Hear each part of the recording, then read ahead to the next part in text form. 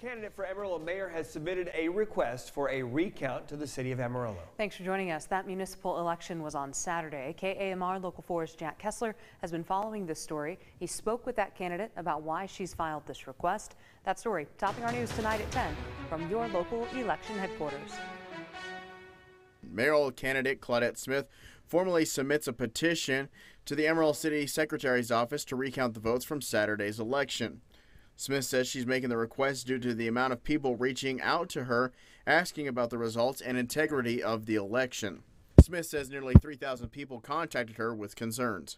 I think the way that a lot of citizens are seeing it, at least what they're telling me, is that the incumbent missed the runoff by four percent, which is approximately eight hundred votes.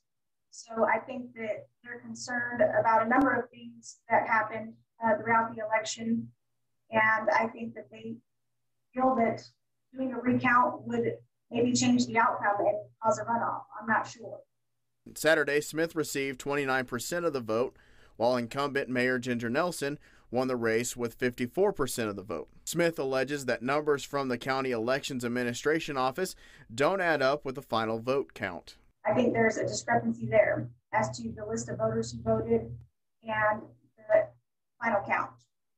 Smith says she has not paid the deposit yet for the recount. I know it's going to be a little bit costly, but I'm willing to absorb that cost because I think it's something that should be done. We reached out to the city and they confirmed that the petition was filed and that they added that there was not there was far too many variables in a recount petition for an interview about the process at this time. We also contacted the Texas Secretaries of Office about any complaints regarding this election and we had not heard back. Live in studio, Jack Kessler, KAMR Local 4 News. Jackie.